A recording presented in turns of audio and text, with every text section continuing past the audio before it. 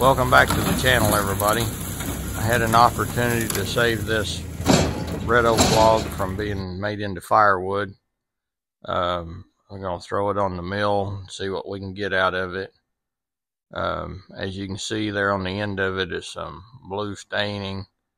Um, I cut a significant portion off of the butt because I suspected it may have had a fence in it at one time. Um, so I cut that off trying to get above the fence. This little red oak isn't without its problems. It's got uh, quite a bit of rot on it. Um, it had some weird places where the sapwood ran really deep. It had a pretty good size, like a six or eight inch uh, limb that came off of it.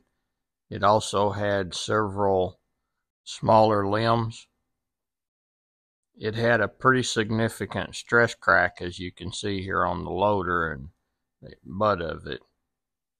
The stress crack in this log is actually perpendicular to the best opening face so that's going to make it a challenge in itself. This is the butt log of the tree so even though we've cut up a pretty good ways on it it still has a bit of a taper to the bottom half of this log it's about 30 inches on the large end and about 25 inches on the smaller end. We're taking a pretty thick slab cut off of this um, because of the rot. The we need to get below the sapwood anyway, um, and it's actually got a little bit of a crook to it, and I've got the crook up or the horns up right now, so it's the narrowest right in the middle as you can see once I remove the slab. I'm going to go ahead and take a fletch cut off of this. I'm cutting all of this an inch and an eighth thick. Um, I'm cutting it a little thicker than I would pine or cedar or something just because when it dries it it will for sure have some twist, cup, and bow in it. Um, so that'll be able to be planed out with an inch and an eighth thickness. For those that are unfamiliar, there is 27 inches between the guide rollers when the throat is opened all the way up on this sawmill. And in the video you're looking at, I have it all but about three inches from open. And in places, I'm just clearing the log by about an inch and a half on each side.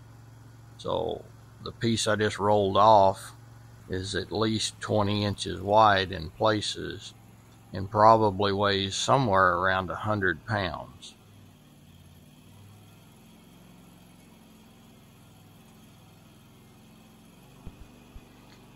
This red oak log at an average of 26 or 8 inches in diameter and 8.5 foot long, weighs approximately 3,000 pounds. Um, that was one of the driving forces between me getting this hydraulic mill going and giving up the manual mill was when you get a 3,000 pound log on a mill, the friction that it has on the mill itself makes it nearly impossible for one man to turn with a cant hook by himself. You can't see it from here, but I'm going slow and easy trying to make sure that I use the log clamp to back that log back up toward the camera because it was actually trying to climb over the 12 inch tall log stops on the other side because the log is so much taller than they are in the middle of doing that, I saw that the log turner was trying to tear out the rotten sapwood and slip. Um, so I was just being a little extra cautious here not to damage the mill by dropping the log.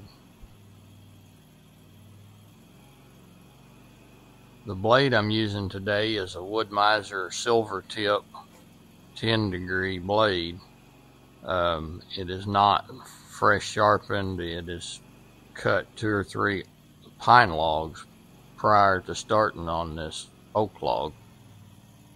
The plan at the moment is to take the four slabs and probably all four fletches off and get this down to a pretty square cant and then I'll stop and change blades um, because every cut then will for sure be in a 20 inch or so thickness.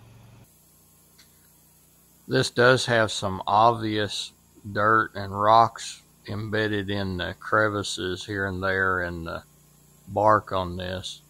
I edited most of it out, but before most of the cuts, I went over it with a claw hammer and uh, cleaned up the bark pretty well where I'm making the cuts.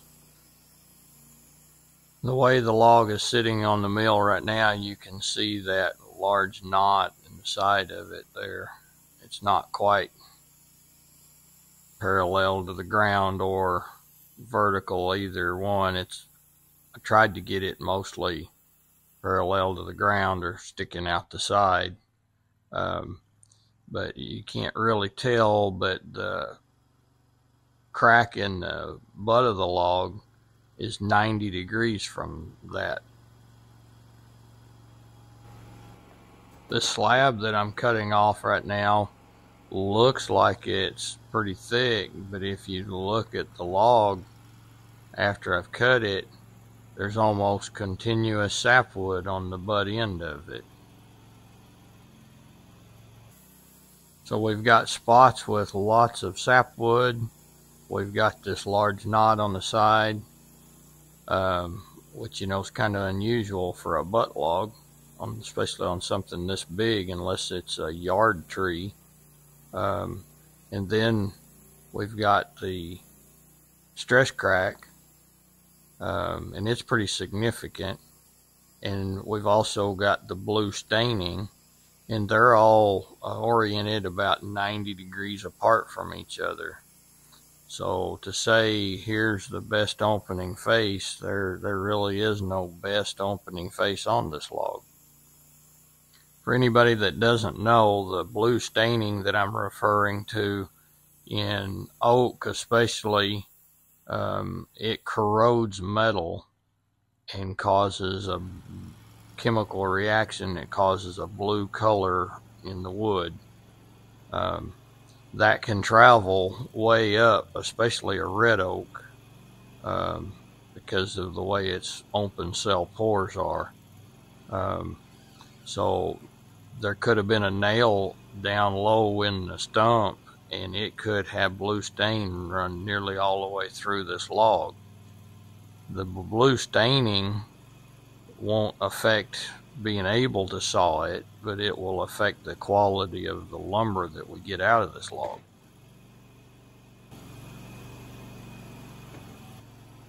Here you see me breaking up some of the bark on this to access the dirt that's hidden underneath it uh, because there was some voids underneath some of the bark.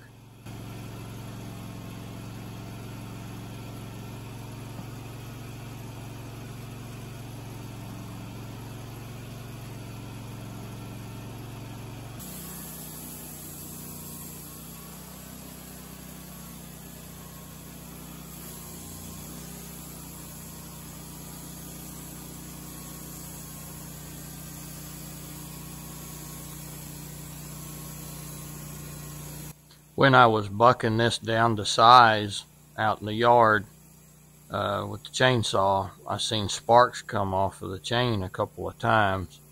I was concerned that it was metal then, but in hindsight, I believe it was just all the dirt that was embedded in the bark on the log. As you can tell, the cut's going pretty slow. This is a pretty wide cut and fairly solid material and uh, this blade has gotten a bit duller since we've started already.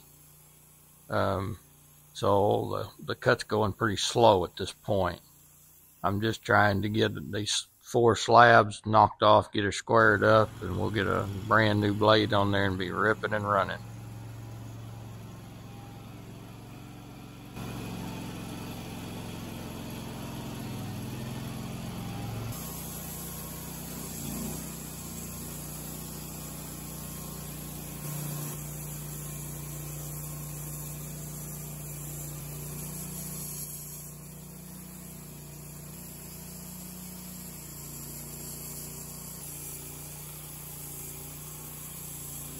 Now would be a really great time to like and subscribe.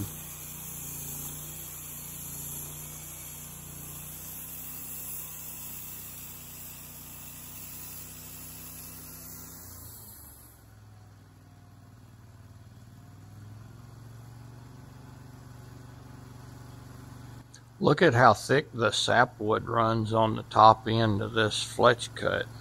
It's got to be six or eight inches in places.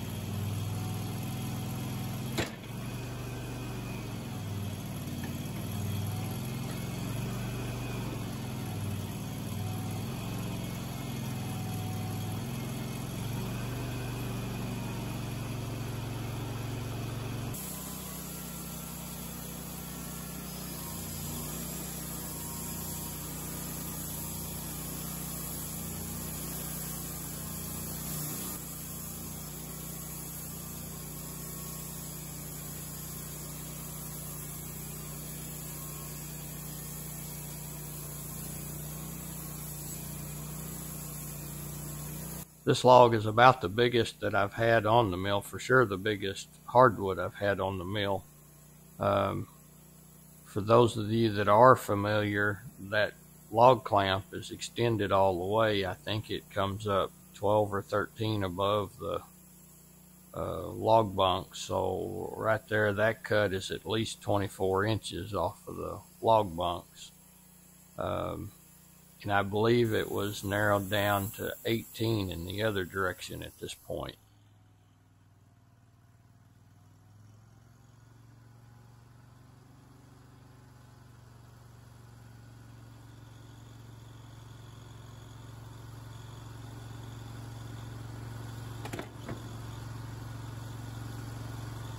I'm pretty sure the face that is looking at the camera right there is what I would consider the best face on the log. As you can see, there's a couple of small knots on it. Before we saw down very far, we'll get into that large knot on the side there. Um, and we are perpendicular to the stress crack. We're going to go ahead and saw one more fletch cut off of this. That'll get us down where we're in more of the heartwood get rid of some more of this sapwood, which most of it is either rotten, gone, or doty. Um, so just bear with this, this little bit slow of cutting because this blade's getting fairly dull. Um, you know, if I was cutting something five or six inches wide, we could still be going at a pretty good rate, but cutting 18 inches wide, it's, it's pretty slow unless the blade's good and sharp.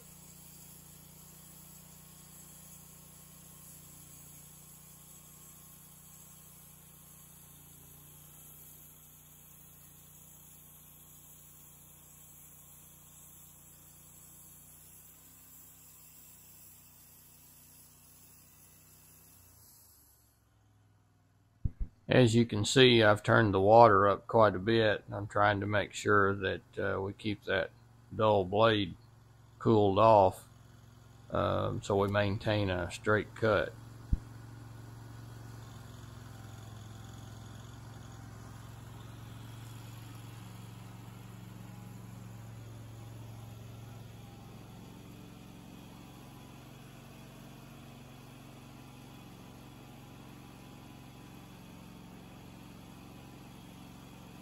All right, I've got the mill cleared off now. I moved the head to the back end, the tail end of the mill, which makes better access to putting the new blade on. I'm putting another Wood-Mizer 10 degree blade on here.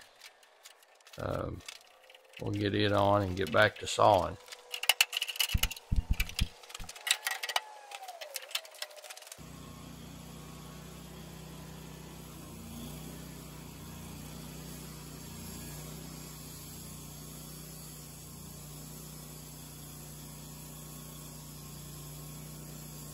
Here you can see that stress crack in the end of the cant I'm sawing parallel with it. So it it's horizontal and the blade's horizontal, so I'll be able to saw down close to it. Um, trouble is, before I get there, I'm going to get right into that uh, blue staining.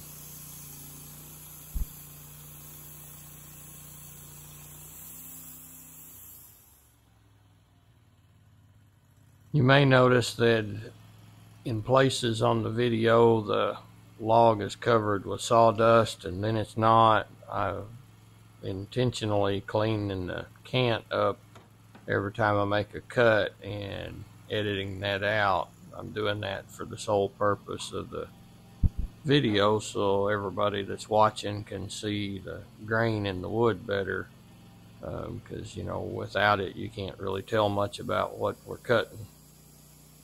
Normally I wait till I've got uh, the whole log completely cut up and the saw shut down and then I clean all the boards up and air stack them. Everybody sees that blue stain on the end of the log. Here I am cutting down through here so everybody be listening to see if you can hear anything. I'm going to turn the sound on the sawmill back up.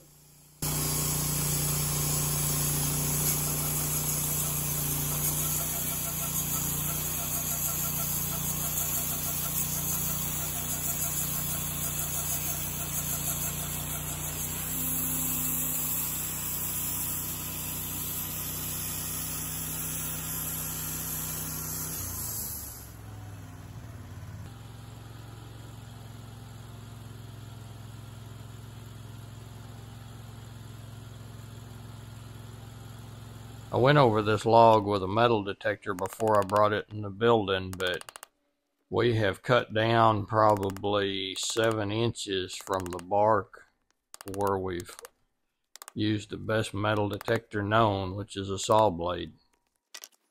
So this was a brand new blade, so you can see how good it was cutting to the right side of the screen and the washboard on the left side of the screen. If you're not familiar, that's because that piece of metal messed up the set in the blade and uh, dulled it extremely as well. Looks like a 16 penny common nail to me.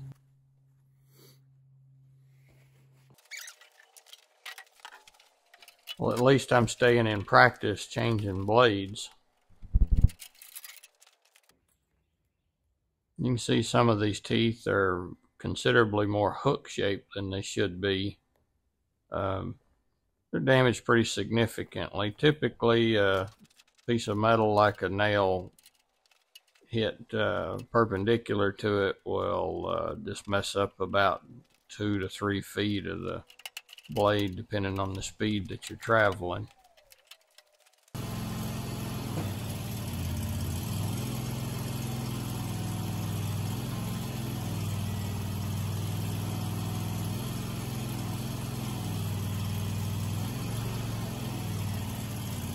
Side that we were cutting on, that was going to be my final cut. So if, if we could have made it just, if that nail had been another half inch deeper in the log, we would have got off of that side before we hit it. Uh, the reason I was stopping was you can see that blue stain coming up. And then uh, juvenile wood is wandering through the log so you in the middle there you can actually see the juvenile wood coming out on that cut.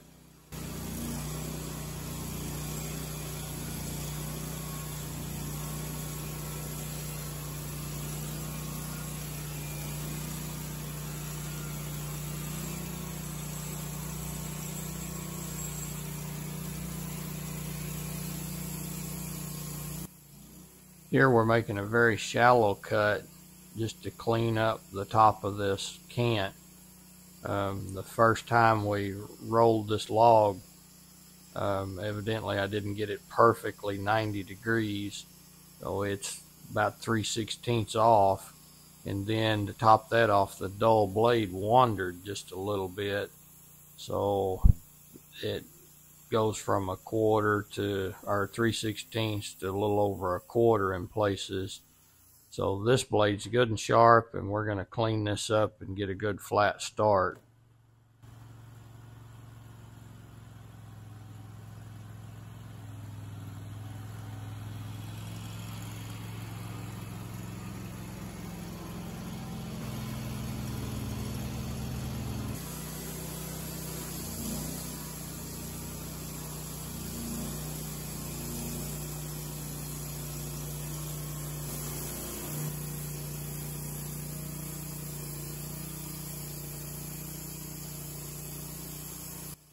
The side of the log that we're cutting on now isn't too bad. It's got a few small knots in it.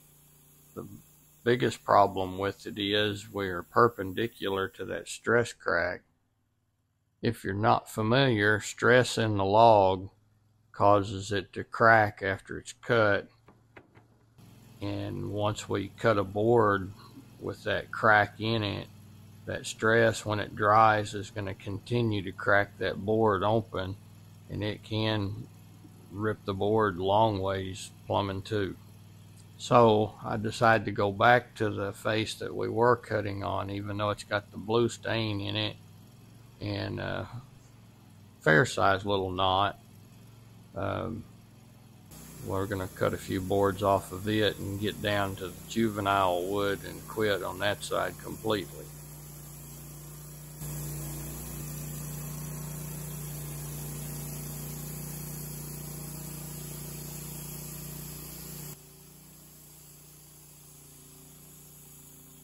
So with a little video editing magic, we've taken three more inch and an eighth cuts off of the side with the blue stain. Those are 14 inches wide, those boards coming off of there, so they will be able to be edged up and cleaned up and get rid of the blue stain and some of the other defects in them and still have some pretty nice lumber out of it. So if I stop on this face right here, I'm going to be cutting perpendicular to that stress crack again. So I'm going to go ahead and roll another 90 degrees.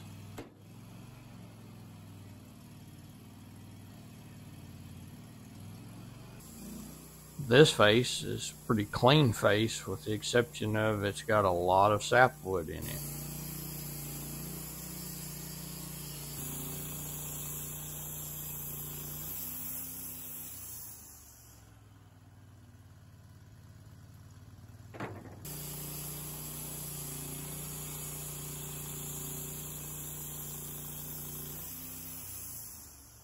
With a bit more of that video editing, we're going to get four more boards off of this side.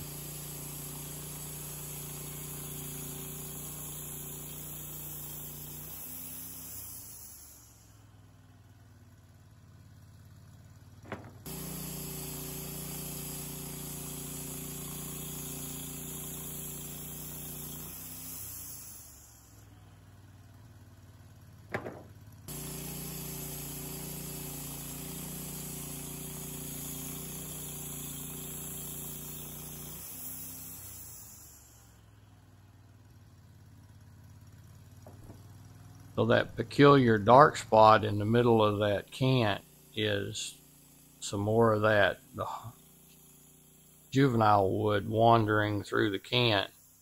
So we're going to have to about call that done on this side of that log. So this is what we're left with from this log. It's a 13 by four and a quarter inch uh, cant that is got the juvenile wood running all through it. So there's really nothing left we can take off of this. We might could have got a one by four off of each side of it. Um, but I don't think so because of that stress crack that's in the log. It is running up and down with the hand through the center of it. So I'm just cutting it into three equal pieces that uh, we can use as dunnage in the yard.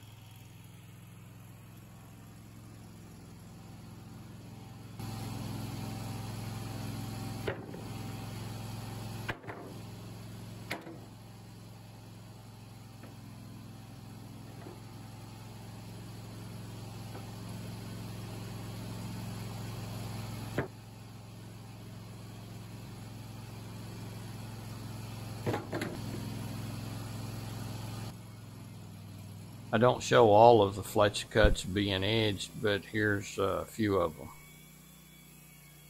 The board foot total out of this log wasn't nearly as good as I anticipated it being, or I put it on the mill. Um, between that blue stain and the stress crack, the stress crack caused us to have to abandon the cant when it was still 4 by 13 where we should have been able to get some uh, several 1 by 4s off of it, at least four more where we could have got it down to say a 4 by 5 or something along those lines. So next comes cleaning up and stacking the lumber. Um, I try not to bend my back any more than possible, so I'm bringing it off of the sawmill onto the forks of the tractor, cleaning it up, and then dragging it right over onto some sawhorses, um, stickering it every 20 inches or so, uh, starting about five inches off of each end and about 20 inches apart. Um, and I stack as many layers, which is usually three to four, depending on the thickness and how much water's in the lumber. Um, and then I move that with the tractor outside to dry. Here's one of the better boards out of that log. It's an 18 inch wide, of course, an inch and eight thick and eight and a half foot long. Uh, we're going to throw some water on it and see what it looks like with uh, grain exposed. That's a pretty good looking board.